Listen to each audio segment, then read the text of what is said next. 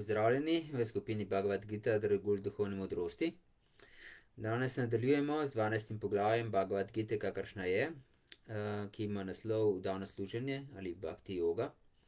In sicer bomo danes nadaljevali s petnajstim verzom. Za začetek bomo pa izgovorili ugodne mantre. Om namo bhagavate Vasudevaya, Om namo bhagavate Vasudevaya, ओम नमो भगवते वासुदेवाय। नारायणं नमस्कृत्य नरं चैव नरोत्तमं। देवीं सरस्वतीं व्यासं ततो जयामुदीरयेत्। नष्टप्रयेष्वबाधरेषु नित्यं भगवतसेवया भगवत्युत्तमश्लोके भक्तिर्भवति नैष्टिके नमो विष्णुपदाय कृष्णपृष्ठपुत्रे श्रीमतिराधनस्वामिति नमिने नमो विष्णुपदाय कृष्णपृष्ठपुत्रे श्रीमति भक्तिवेदान्ता स्वामिति नमिने नमस्ते सरस्वती देवे गौरवाणी प्रचरणे निर्विशेष शून्यवादी पश्चातादेशतारणे No, lep pozdrav. Um, kot smo rekli, uh, nadaljujemo z dvanajstim poglavjem Bhagavad Gite. Uh, bomo najprej uh, malo obnovili, da bomo vedeli, za kaj gre.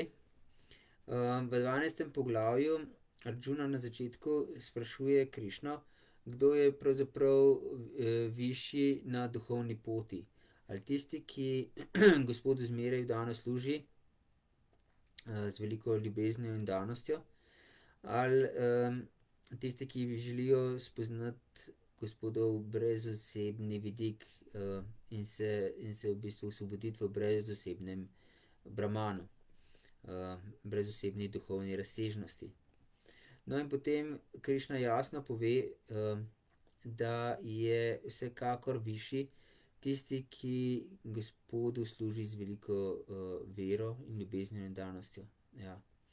In da tisti, ki uh, želijo spoznati Gospodov brezosebni vidik, uh, in so v bistvu služijo vsem živim bitjem, na koncu prav tako dosežejo njega, um, vendar uh, v resnici hodijo po zelo trnovi poti in končno, uh, končno se mu morajo predati, kot smo rekli že v sedmem poglavju.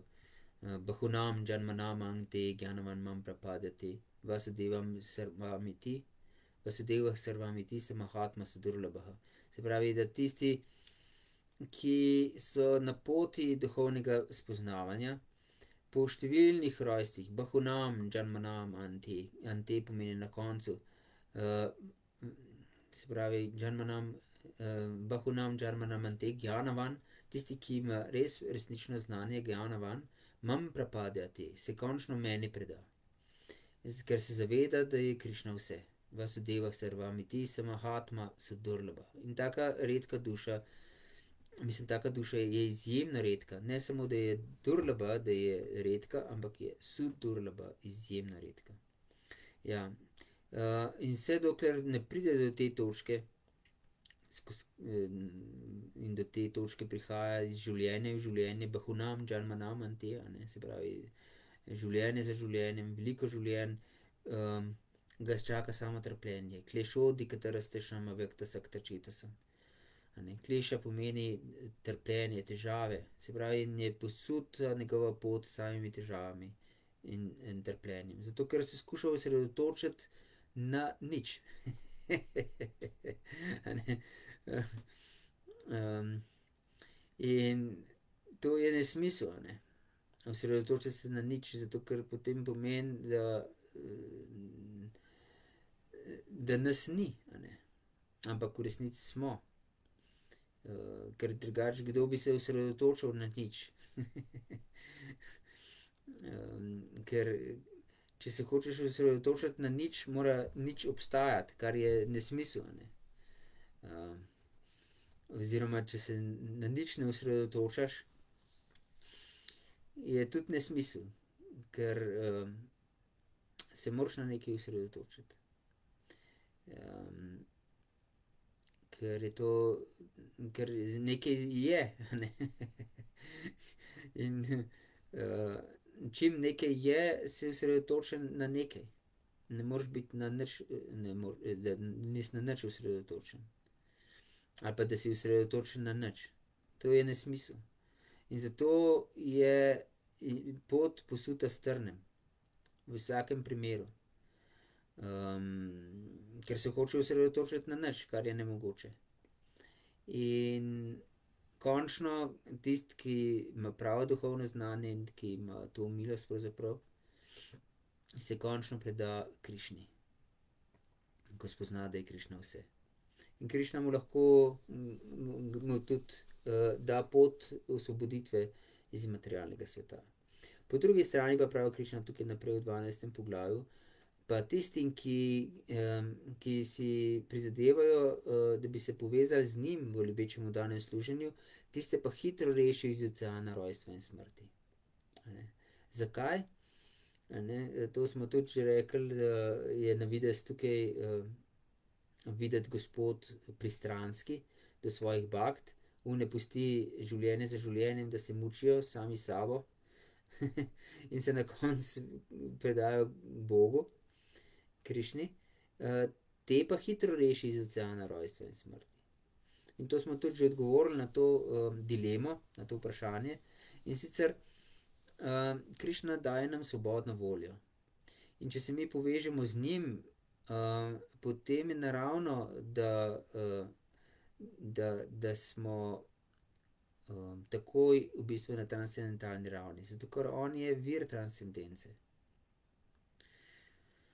Medtem ko tisti, ki hodi po poti brez osebnega spoznavanja, se ne preda Krišni, torej se ne, dotakne transcendence. In skuša, izprazniti svoje materialno življenje, kar je nemogoče. Ker dokler nismo na transcendentalni ravni, ne moremo izprazniti svojega materialnega življenja. Se pravi, da bi se osredotočili na duhovno, ko smo v, če se ne predamo Krišni. Mi se ne moremo, sploh dotakniti duhovne razsežnosti. ker nimamo za to nobenega inštrumenta. Mi imamo, ker smo ujeti, pogojeni, materialno pogojeni, ker smo ujeti v materialno telo, imamo materialne inštrumente na razpolago. Se pravi, groba čutila, vid, sluh, voh, okus, tip, medtem ko, in, in, in bolj subtilni um in razum.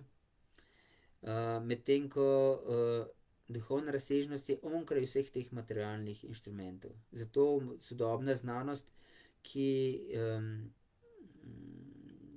če se ne preda Krišni, ne, ne morejo priti do nobenega sklepa onkraj materije. Onkraj materije, zato noben, tudi ne raziskuje, duhovne razsežnosti. Razen seveda bakt. ja. Kar je po Prabhupadovih besedah, temelj vsega znanja, ne. Vse drugo znanje, ki ne zaobsega absolutne resnice, je mlatenje prazne slame pravzaprav. Zato ker, da dobimo nekaj užitnega iz našega znanja, nas mora dvigniti na raven večne sreče. Kar nas ne dvigne na raven večne sreče, je veliko zapravljanje časa. Zato pravi Krišna v devetem poglavju, če se spomnite, smo govorili o tem: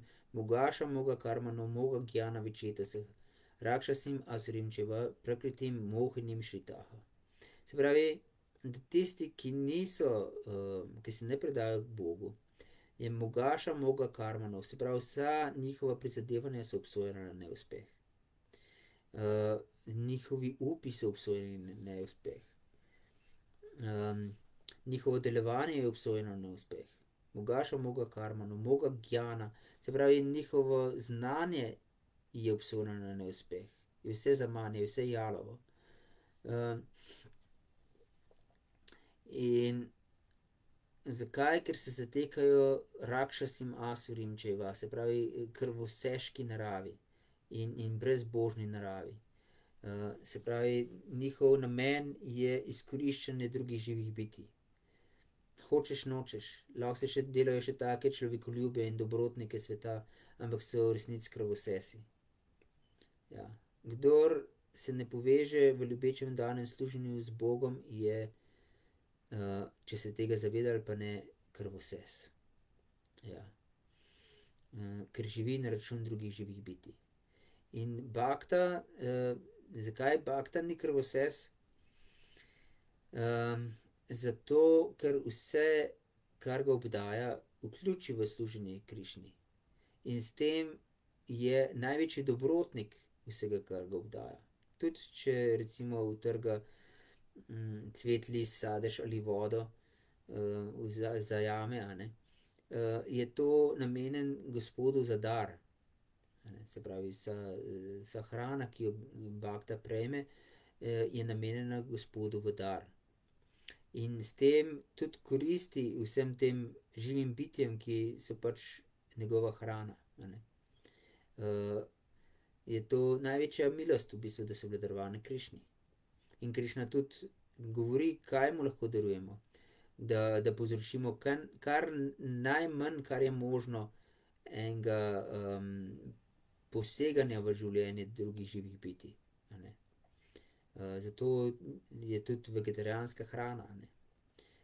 ker je s tem najmanj poseganja, v, v, v življenja drugih. Ja. Samo, kar je najbolj nujno. In zato je tudi pomembno, da živimo, kot pravijo šastre, tako, da ohranimo se pri življenju, ne. Ne, ne da jemo preveč, ne. In jasno tudi ne premalo, zato ker je telo je Krišnovo, Krišnovo telo, ne, ni naše telo. Krišnov tempelj. In mi moramo s tem telesom, naše telo nam je dano v, z enim samim namenom, in sicer, s tem namenom, da bi služili Krišni z njim. Ja. In, zato, zato je pravzaprav, nam zaupano v skrb, ne, in, lahko z, s takim gospodarnim ravnanjem s telesom, s tako grobim kot subtilnim telesom, dosežemo nekaj, kar telo presega, in sicer transcendentalno raven. Kar je neverjetno pravzaprav. In to je samo v resnici samo po milosti Krišne. Ampak, zato pravi, mislim, da je v enajstem spevu, da modrost modrih je, da uporabijo tisto, kar je minljivo, da dosežejo s tem večno. Pravi, ampak to se ne zgodi po naši moči, samo da bi uporabili, to, kar je minljivo, se pravi naše telo, naše čute, naš um za služenje Krišni, ampak, moramo dobiti Gospodovo milost. Ja. Drugače se lahko pod nosom obrišemo. ja. No, in zato je ta razlika, da bakte takoj potegne iz tega oceana rojstva in smrti, ker, ker se bakte mu predajo in so bakte pod njegovo zaščito, pod, ker, ker si to pač želijo. Drugi, ki se Bogu ne predajo, pa niso pod njegovo zaščito, ker si ne želijo biti pod njegovo zaščito. In Krišna nikogar ne sili, da je pod njegovo zaščito. sicer oznanja, da je to dobro, v Bhagavad giti, ne, to je, to je njegova, ravno tako njegova milost, da, da vsem, vsemu svetu razglasi, kaj je, dobro za vsakega, posameznika, ne. In to je, da se predamo Krišni. Ampak hkrati nikogar ne sili. No, in potem pojasni naprej, v prvem delu, ke se konča tukaj, pri dvanajstem verzu, pojasni, kakšne so zdaj, to je v bistvu drugi del, no, če se tako izrazim, kakšne so zdaj stopnje zavesti na poti k njemu. In, da misli prežamemo z, z, s Krišno in da svoj um in razum posvetimo njemu, in svoj jaz, to je najvišja stopnja. In če tega ne moremo, se moramo posvetiti, vadbi bakti joge oziroma sadhana bakti. In če tega ne moremo, potem delamo za Krišno, ne. spletamo njegove cvetne vence in tako naprej. se pravi, nekaj smo zaposleni neposredno s služenjem Krišni. In če tega ne moremo, potem tisto, kar ustvarimo s svojim delom, se uporabimo za neke, ali za Krišno ali pa za neke dobrodelne namene ali kakorkoli. Skratka, ampak da smo samoobvladani, a ne. Samoobvladanost je zelo pomembna, da ne živimo grešno. Ker s tem, se, se pogubimo pravzaprav, sebe in druge. no, in potem pojasni Krišna, da je boljše, od vadbe je gjana, se pravi zavedanje, da smo mi živo bitje, duhovne narave in da smo božji služabniki. Boljše od gjane, se pravi tega zavedanja, je djana, premišljevanje o tem. In iz te djane potem naravno sledi odpovedovanje sadovom delovanja. In tako, odpovedovanje nam, naravno povzroči mir, ne. Smo lahko mirni.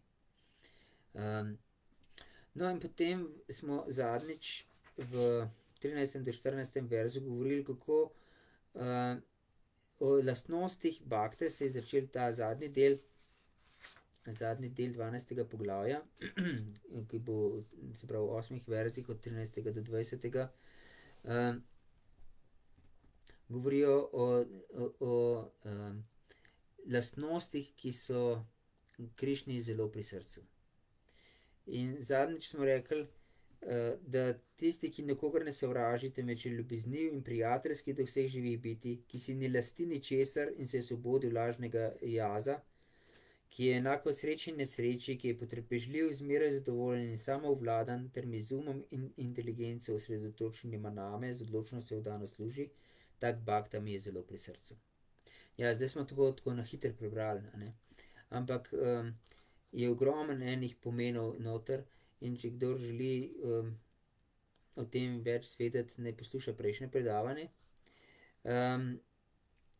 in zdaj gremo pa na petnajsti verz, ki ga bomo danes obravnavali.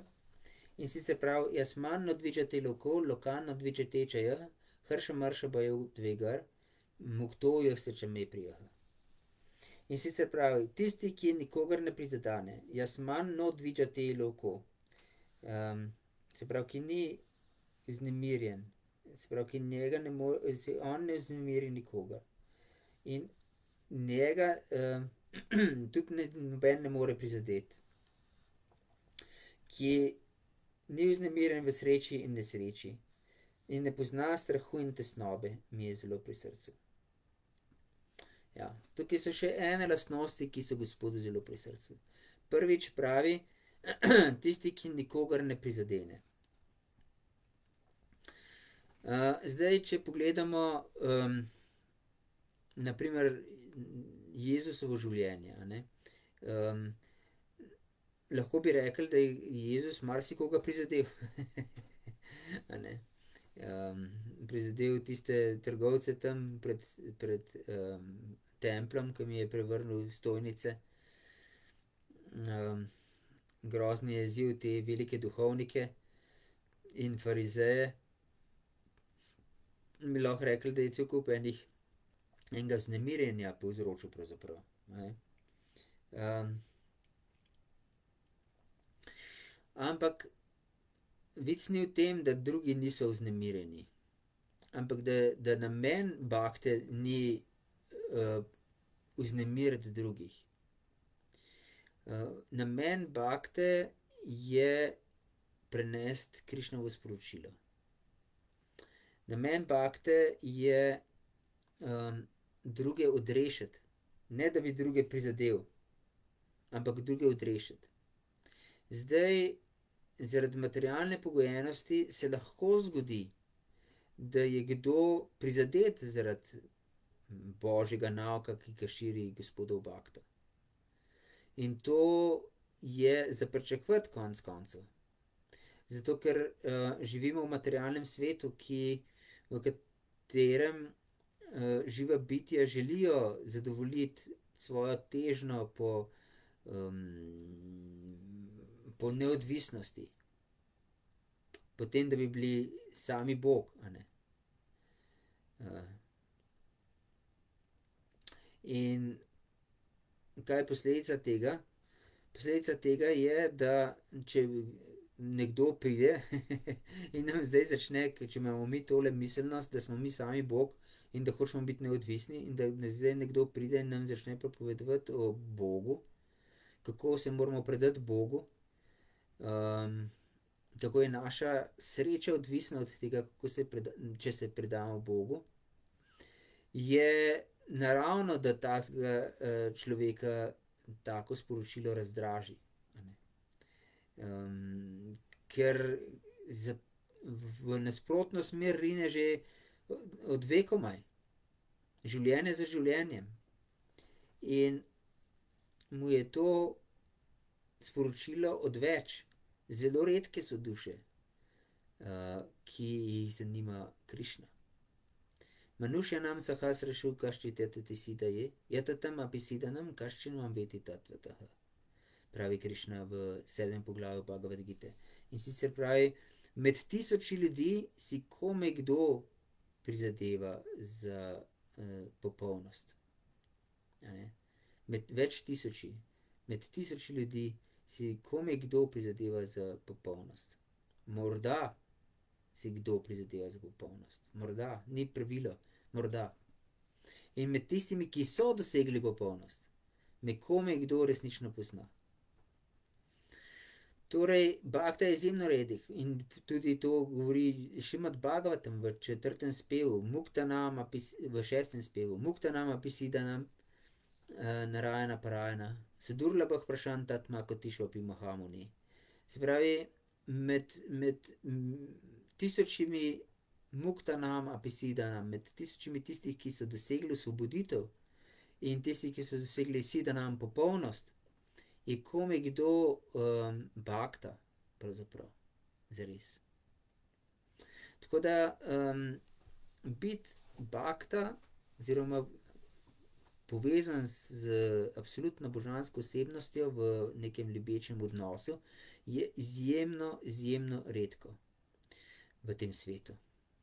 Ja. Zato ni nenavadno, če se ljudje vznemirijo, če slišijo um, iskrenega bakta govoriti. Eni, uh, v bistvu je dvo, um, dve vrsti učinkama.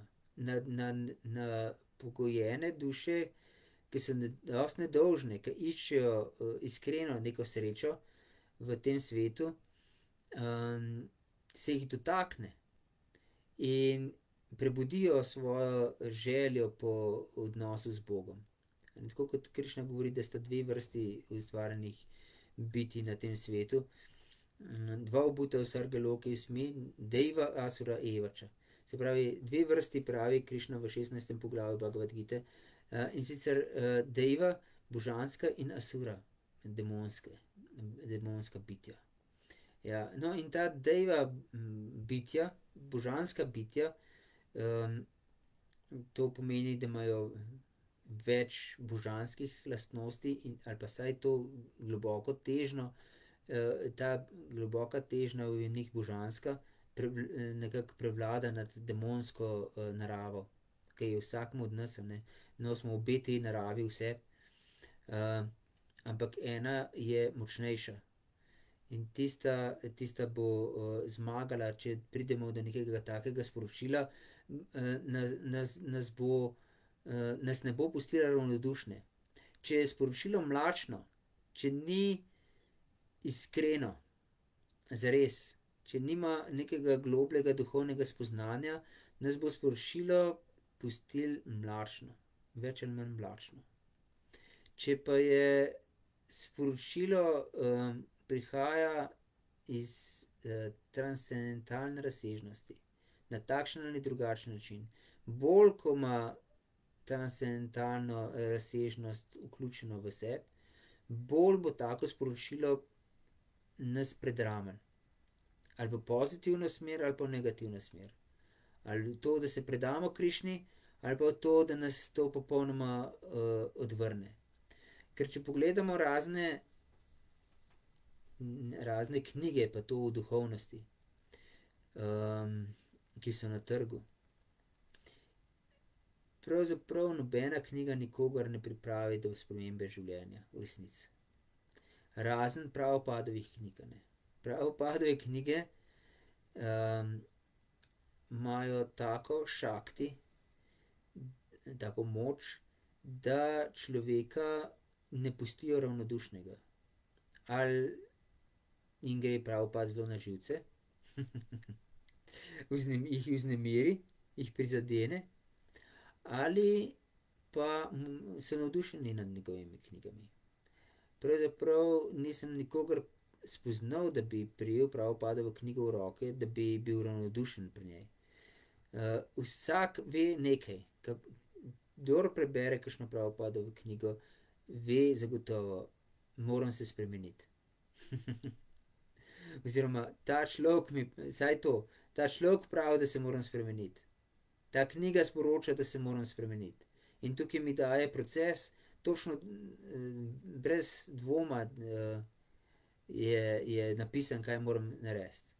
Ne, moram nehati jesti meso, moram nehati se opijati, ne smem se vdajati, zunajzakonski spolnosti, ne smem igrati iger na srečo in moram peti Gospodova sveta imena in moram se družiti z baktami. To diha iz Prabhupadovih knjig na vsaki strani. In to je ključen, ključen proces za vsako pogojeno dušo. In tudi za osvobojeno dušo. To je popoln proces, ne. oziroma to je tako sadna, a ne, se pravi duhovna pot, duhovna vadba, kot sadja. Kot popolnost, popolna razsežnost. Ja. Hkrati. In to je edinstveno. To je samo bakti joga. Ja, no, torej, tule pravi, pravi, kaj je zdaj poanta, ke sem jo hotel sporočiti. Ta bakta ni njegov fokus, da bo vse pustil v miru. Ampak tudi ni njegov fokus, ni osredotočen na to, da bo ljudi dražil. Njegov namen je ljudi prebuditi. In se pravi, njegov namen ni nikogar prizadeti. Ampak je njegov namen ljudi prebuditi. In zdaj lahko se zgodi, da bo kdo prizadet. Kot smo zdaj v več primerih že, tole slišali. Ja, no, druga lastnost, prvič je, da si nikogar ne skušamo prizadeti. In tudi ta, še nekaj je pomembno tukaj zraven. To, da nikogar ne skuša bakta prizadeti, je znak, da, nikogar ne sovraži. Da da, da resnično mu je mar za vsa druga živa bitja. On se zaveda, da je, da je Krišna, naš skupni oče, če se tako izrazim. Kot, kot Krišna to tudi sam pravi, ne. pravi: "Tasem brahma mahat jonir, aham bidža pradah pita." Jaz sem oče, ki da seme. V štirinajstem poglavju Bhagavad gite. Ja,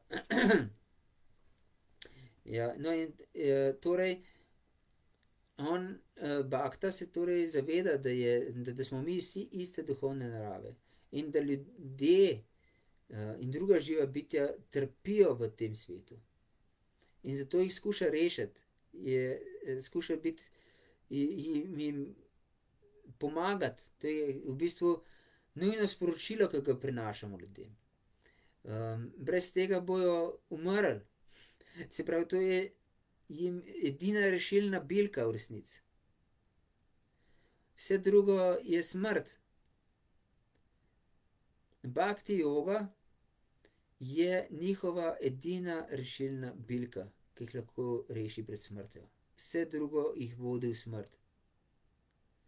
In to je dejstvo. To ni neka sektaška izjava. To je dejstvo. in zato jih skuša rešiti. Ampak je tako kot pri raznih bolnikih. ki um, v svojem, svoji norosti uh, napadajo zdravnika, ki jih skuša rešiti.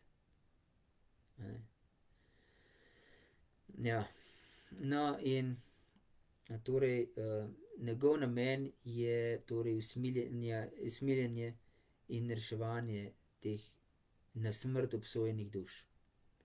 Ja. Uh, ampak hkrati tukaj piše, njega ne prizadene nihče. Se pravi, ne glede na to, ali mu druga živa bitja njegov, njegovo uh, usmiljenje zamerijo ali ne, in uh, mu skušajo škodovati uh, na vse mogoče načine, tako kot so, recimo, če smo že prej Jezusa omenjali, uh, Jezusa so križali. Ampak kljub temu ga ni noben prizadel, je malo uh, krišni hočetu, da jim odpusti, da, ne, da se ne vedo, kaj delajo. In enako se je zgodilo z Haridasom Takorjem, ko so ga bičali na, koliko je bilo, 24 trgih in pretepali in tako, da bi moral že po dveh bičanjih umreti, ne, vsak drug normalen človek je umrl. uh, je on nenehno molil Krišni, da, da ne odpusti tem uh, njegovim rabljem, ki so bili namenjeni temu, da ga ubijajo. Ja. Se pravi, njega ni mogel nišče prizadeti, ne glede na to, kaj mu je storil. Kakšno laž so, so, so uh, si izmislili glede Haridasa, ali pa kako koli so ga napadali. Poslali so mi prostitutke, da bi ga zavedli.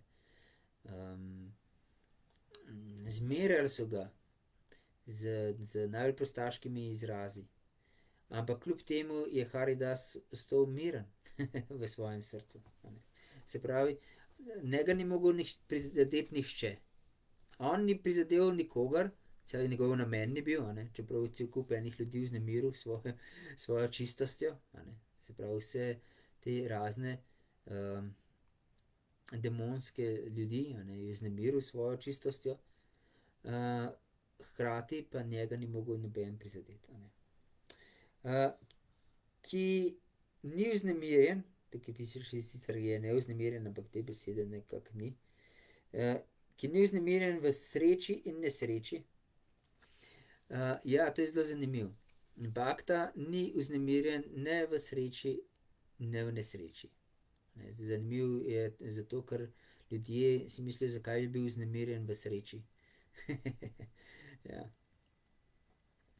Uh, v resnici je uh, materialna sreča in nesreča sta samo nek privid, ki se ga mi tako razlagamo. Kar je za nas uh, sreča, je za nekoga drugega lahko huda nesreča. Um, tako da. Mm, recimo, če dam za primer. Če ima kdo od nas vem, 10.000 evrov na računu, en tak enostaven primer, mogoče ga kdo razume. 10.000 evrov na računu je mogoče to za njega kar lepa vsota. Ne? Uh, nekaj je že, da si lahko z tem pomaga. Medtem ko za nekoga milijonarja, da bi imel samo 10.000 evrov na računu, je to za njega živa katastrofa, poraz. Uh, sam še za samomor za narest.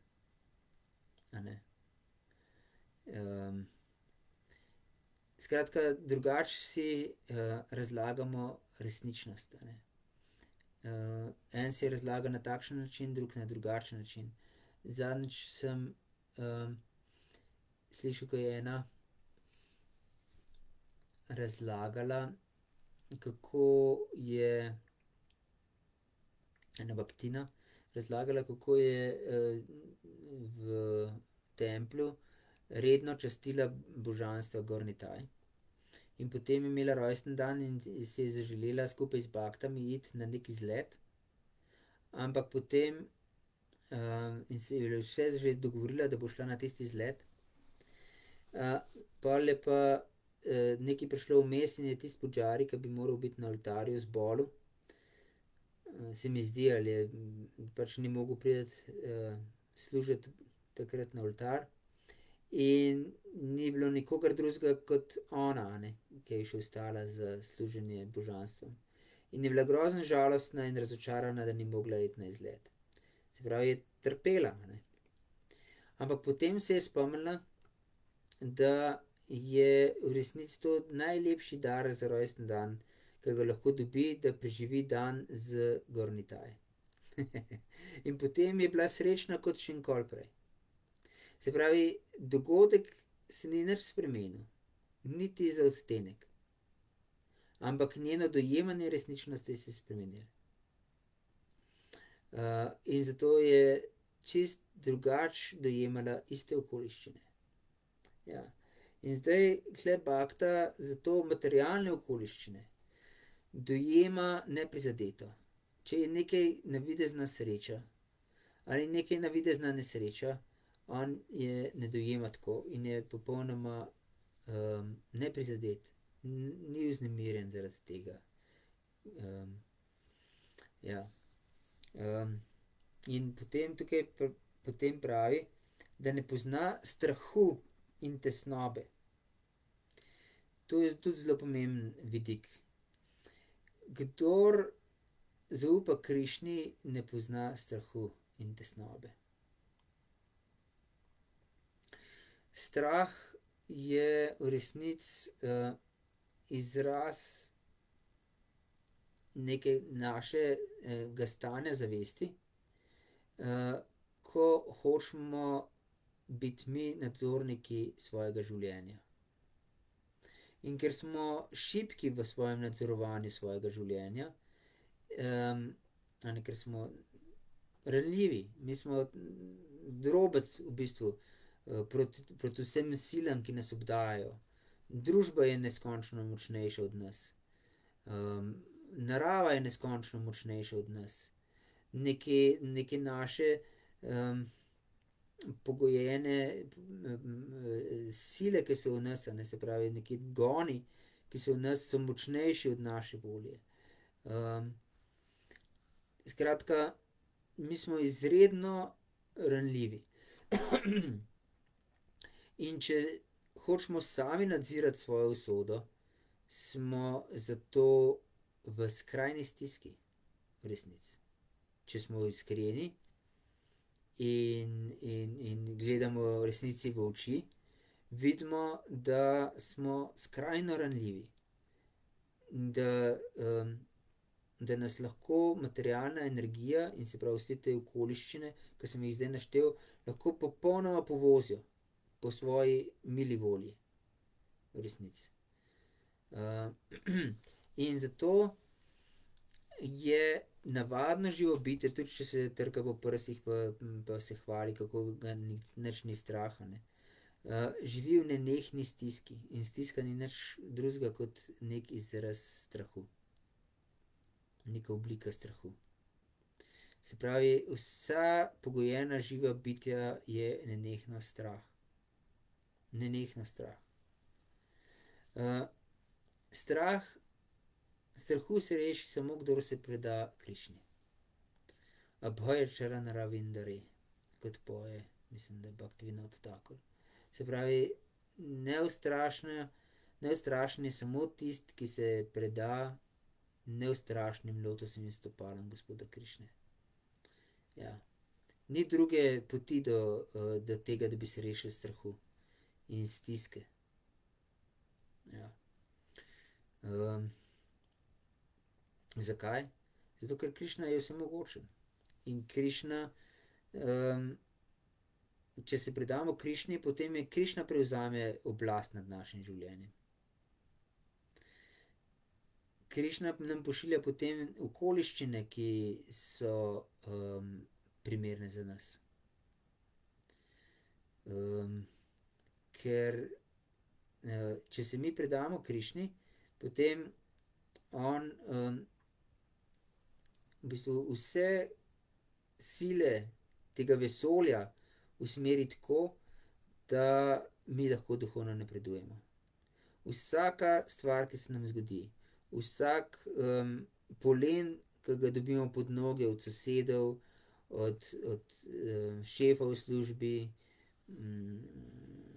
ali pa doma v odnosih med ženo in možem, otroki in starši, ali pa kakršnimikoli drugimi okoliščinami. Vsaka stvar, ki se nam zgodi, tako tiste, ki si jih mi interpretiramo kot dobre kot tiste, ki si jih mi interpretiramo kot slabe, vse je popolno za naše napredovanje. In če jih vidimo v tej luči, smo, smo zreli za odnos s Krišno. Za globlji odnos s Krišno. Ja. Okej, tukaj vidim, da imamo eno vprašanje. Janja sprašuje, Hare Krišna: "Prejmite moje ponižno spoštovanje, Bhagavad Dharma Prabhu." Hare Krišna tudi vam spoštovanje tebi, Janja. nam razložite, če so bakte tako maloštevilčni, kdo in kdaj postanemo oziroma se lahko nazivamo z nazivom bakta? Hare Krišna. Ja, lepo vprašanje, Janja. zdaj imamo več vrst bakt, pravzaprav. Bakta, to so vprašali, mislim, da prebivalci Kulinagrama, če se ne motim, gospoda Čajtanja. Po Ratajatri, se pravi po tem prazniku kočij. So vprašali gospoda, kdo je bakta. In gospod je rekel: "Kdor enkrat izgovori sveto ime, ta je bakta." In potem naslednje leto, spet po prazniku kočij, so spet vprašali, gospoda Čajtanja, kdo je bakta. Ker jim je naročil, da morajo nenehno peti sveto ime in služiti baktam. gospod jim je vsako leto naročil eno in isto. Se pravi, da naj pojejo sveto ime in naj služijo baktam. In potem so ga zmeraj vprašali, kdo je bakta. In je prvo leto jim rekel tako, kot sem, pojasnil, a ne. Kdor enkrat izgovori sveto ime, ta je bakta. Naslednje leto jim je odgovoril: "Kdor nenehno poje sveto ime, ta je bakta." In potem še eno leto pozneje jim je spet pojasnil, kdo je bakta, in je rekel: "Tisti, ki, čigar sama navzočnost povzroči, da drugi pojejo sveto ime, ta je bakta." In potem, to, Čila Prabhupada in drugi naši acharji, veliki učitelji, pojasnjujejo, da so bakte v bistvu različnih, na različnih stopnjah. Eni so tisti, ki so, začeli peti sveto ime, ampak, še niso trdni na duhovni poti. In to so Kaništa bakte, Prakrita bakte, Kaništa adikarji. več različnih poimenovanj za to stopnjo bakte. Se pravi, tisti, ki še ni trden na poti bakte, bakti. In ki včasih poje sveto ime, včasih ne poje svetega imena. Včasih se spominja Krišne, včasih pozabi na njega. in tako naprej. Ni stanoviten. Medtem ko, druga stopnja je Madhyama bakta. Je bakta na srednji ravni. Ta bakta nenehno poje sveto ime. kot pravi, gospod Čajtanja v Šikšaštaki. Da naš namen naše duhovne poti je, da nenehno pojemo sveto ime. In tak bakta, je prijatelj do vseh živih bitij. Tak prijatelj, mislim, je prijatelj do drugih bakt in on ima ljubezen do Gospoda, je usmiljen do, do drugih, nedolžnih bitij in se izogiba, zavistnih, škodoželjnih, sovražnih, živih bitij. Ja. Ki bi svojo navzočnostjo in, in, in, svetostjo bi jih v bistvu samo razdražil. Ja. To pojasnjuje, en vers, pravi, Išvari tadedinešu, bališešu prima kripo pekša, jah karoti samadima. uh, Išverita Dinešu. Ja. Um, se pravi, da Madama Bhakta je tisti, ki razvija ljubezen do Krišne, ki je prijatelj z Bhaktami in usmiljen do nedolžnih živih biti in se izogiba zavistnih, uh, sovražnih živih biti. Ne. To je Madema Bhakta. In končno tisti, ki samo svojo navzočnostjo povzroči, da drugi pojejo sveto ime, to je Utama Bhakta. Bhakta na popolnoma transcendentalni ravni, ki pravzaprav um, svojim srcem in dušo v uh, Gospodu. In nenehno se spominja Gospoda in, in uh, jasno tudi poje sveto ime. Um, in ima tako moč, da druge uh, pripravi do tega, da poje sveto ime. In to je Utama Bhakta, kot smo rekli. Um, ja. In kot pojasnjuje Rupa Gosvami v Upadešamriti, je um, Utama Bhakta tisti, s katerim bi se mi morali družiti čim več. Zato, ker uh, povem, s kom se družiš in povem ti, kdo si. Uh, in Utama Bhakta nam lahko prenese Bhakti nam lahko prenese bakti. Danes boste velikokrat slišali, da um, med baktami, da je, zelo, da je bolj pomembno se družiti s sebi enakimi, ampak to ne podpirajo nobene šastre, te izjave. Uh, šastre nas učijo, da se družimo z najvišjimi baktami. Um, ker tako bomo, bomo lahko si pridobili njihove lastnosti. Tako kot je primer, šastre dajo primer, da um, eh, kot kristal prevzame barvo um, predmeta, ki je ob njem, ker kristal je prozoren, ampak če damo ga zraven nekega predmeta, ki je rdeč, bo kristal sijal rdeče. In ravno tako bomo mi uh, odražali lastnosti uh, tistih, s katerimi se družimo. Ja. Uh, in uh, kdo in kdaj postanemo, oziroma se lahko nazivamo z nazivom Bakta. Torej, Bakta smo, če si želimo služiti Krišni. Če je Krišna naš vir. Uh, našega življenja. Zdaj lahko smo eh, zelo šipki v tej svoji odločitvi in velikrat podležemo raznim skušnjavam. Ampak, če je to naš fokus, da bi mi želeli uh, služiti Krišni in zato mantramo sveto ime, uh, potem smo bakte. Potem lahko rečemo, da smo bakte. Ja. In jasno, potem bomo uh, po poti. In to smo lahko, če, če si želimo rešiti se drugih želja in da, da se posvetimo samo služenju Križni, kljub temu, da imamo lahko cel kup materialnih želja in, in, in težav, ampak da je naš fokus, da se rešimo tega in se očistimo tega in se predamo samo Križni, potem smo že zdaj čisti bakte. Ja.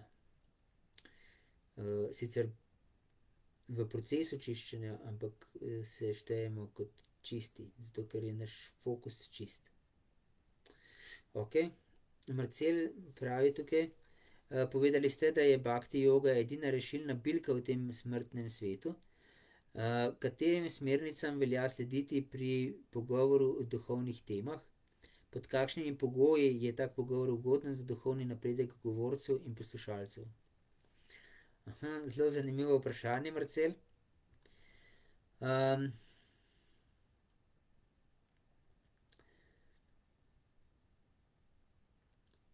v resnici je mm, pogovor o duhovnih temah edini smislen pogovor, ne? ki nam prinaša neko um, svobodo duha. In Šimad Bhagavatam, ki je en največjih temeljev duhovnega življenja, ne, um, nenehno slavi uh, pogovor o duhovnih temah, da se pogovarjamo o Krišni, da slavimo Krišnjo, da poslušamo o Krišni. Šušušu še da danes je vas odeva kataruči in da razvijamo kataruči. Se pravi, kata pomeni pogovor o Krišni. In da poslušamo z vero in vdanostjo, šušušu še da danes je vas odeva kataruči in razvijamo okus za kata. no, se pravi, Sjanmaha cevaja vipraha in služimo čistim baktam. Punja tirtani ševanat. in in služimo njihovim ne. Se pravi, čistih bakt in, in svetih krajev in tako naprej. Ja, tako razvijamo kataruči, okus za pogovor o Krišni. Se pravi, katerim smernicam velja slediti v pogovoru o duhovnih temah? važno je, da se pogovarjamo o Krišni in njegovih zabavah in njegovih dejanjih in njegovih besedah. To je glavna smernica. Zdaj pa odvisno, kdo je naš govornik, sogovornik. Če je naš sogovornik nekdo, ki ima odpor do Boga, odpor do Krišne, odpor do oddanega služenja, potem je smernica, da se mu izognemo. da z njim ne govorimo o duhovnih temah. Ne. čeprav je edina rešilna bilka, bakti joga, bo takega človeka, ki ima odpor do bakti joge, odpor do Krišne, odpor do, do duhovnega življenja, ga bo duhovna tema samo še bolj poglobila njegovo, njegov odpor. Zato, se mu iz usmiljenja izogibamo. In ne govorimo z njim nič o duhovnih temah.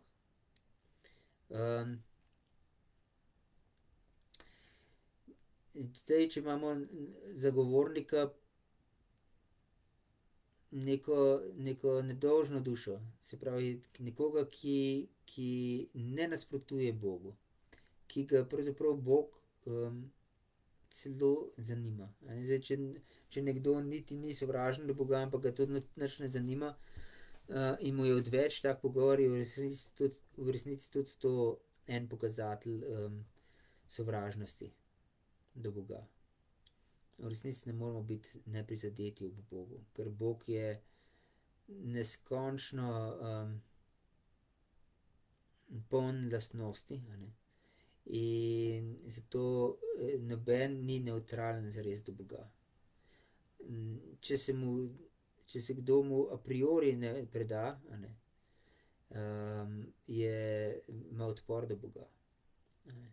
Tistega, ki ga pa nekaj zanima, pa, pa je nedolžno bitje pravzaprav, pa v resnici si želi predati, se želi predati Bogu, samo je neveden, ne ve, kako to narediti.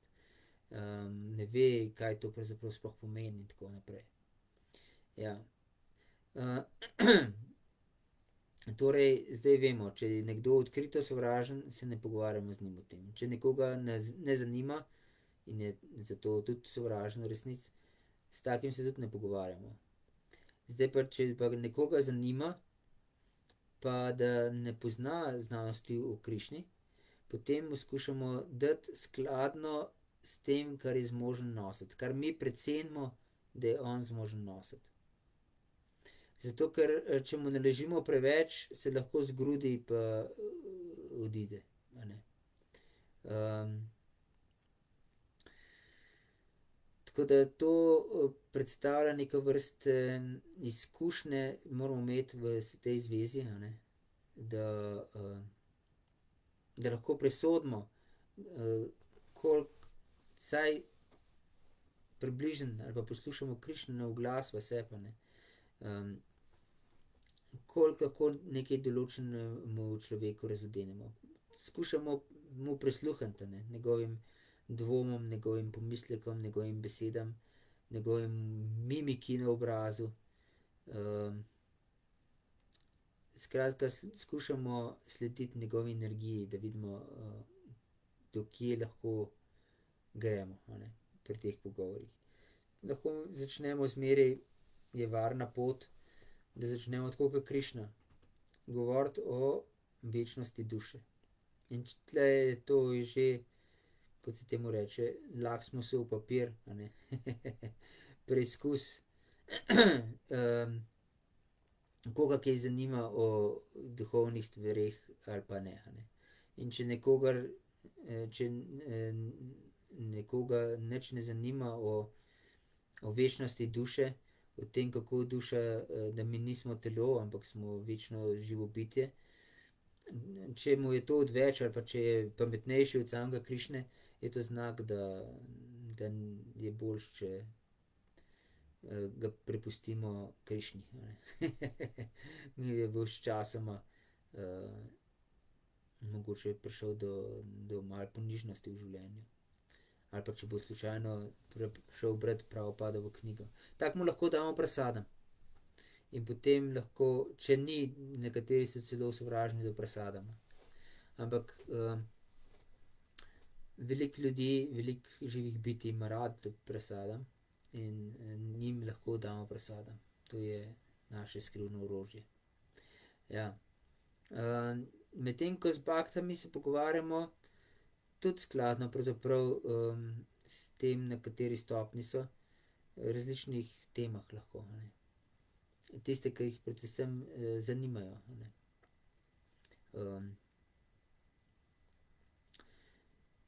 Bhagavad gita je zelo, hvaležna tema za pogovor, ne. Lahko po poglavjih, po, razdelkih raznih poglavij in tako naprej.